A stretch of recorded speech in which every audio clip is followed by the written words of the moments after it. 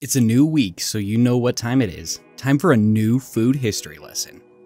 Okay, maybe this isn't actually a weekly occurrence around here, but let's be honest, we all have a soft spot for learning where our favorite foods come from, right? And what is a more fascinating food than the illustrious pizza? Food of choice for college students, birthday parties, and workplaces who need a morale boost. Because pizza parties work for that, right? But where did the pizza truly come from? And what did the original pizzas look like and consist of? Today, we're going to carve up those answers and more. 3 Minute Flicks Entertaining, educating, and enlightening. The furthest recipe resembling pizza traces back to 1700s Naples. This society was known for its brutal economical hierarchy and living conditions. Many of the workers in this society needed something inexpensive and quickly consumable to match their work-heavy lifestyle.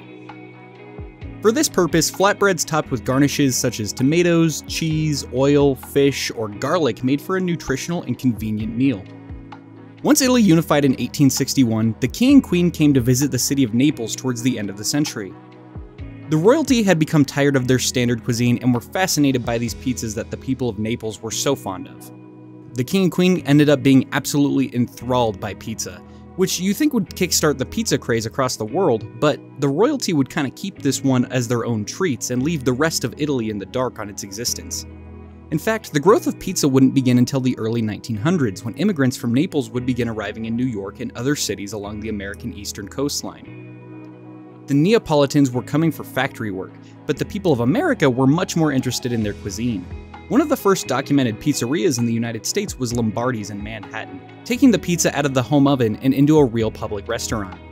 As Italians immigrated more and more into the country, the craze of Italian food along the East Coast would explode exponentially, naturally bringing the love for pizza with it.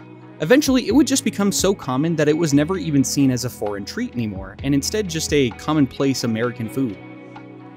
As the pizza took over America, regional developments would evolve all over the country, adding different toppings like barbecued meats, salmon, and many different kinds of sauces and cheese.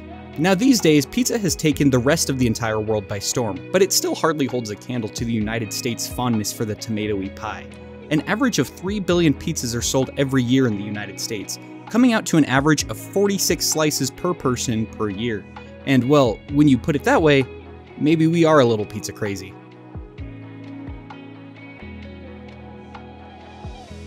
3 Minute Flicks. Don't forget to subscribe and hit the notification bell.